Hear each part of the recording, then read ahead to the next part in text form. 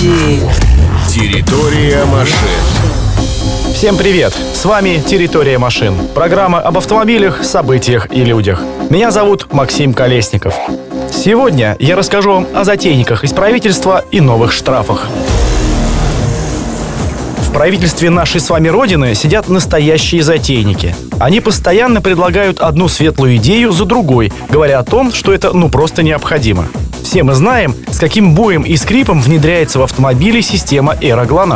Только ленивый не пнул эту инициативу, а компании отказываются от продаж некоторых моделей из-за дороговизны нашей с вами Эры. Теперь новое предложение, которое грозит стать историческим на всей территории планеты Земля.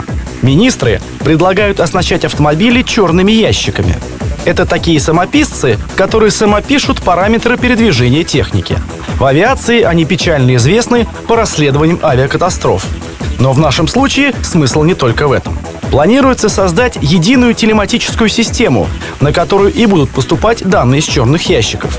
Данные не только о месте нахождения автомобиля, но и его вес, необходимость ремонта и даже манере езды водителя. Последнее повлияет на стоимость ОСАГО, если все пойдет как задумано. Плюс к этому система будет управлять трафиком, ведь она будет видеть количество автомобилей в данный момент и в данном месте.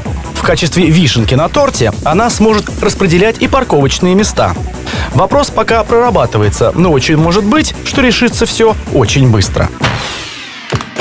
И снова о штрафах, мои дорогие любители нарушать. Комитет Госдумы по госстроительству и законодательству предложил внести очередные изменения в КОАП. Они касаются штрафа за что? Правильно, за тонировку. Мы же знаем, что водитель неправильно затонированного автомобиля платит всего 500 рублей и довольный уезжает. Теперь законодатели планируют увеличить его аж в 10 раз, до 5000 рублей. Тут уже довольным уехать не получится. Или сдирай пленку, или плати.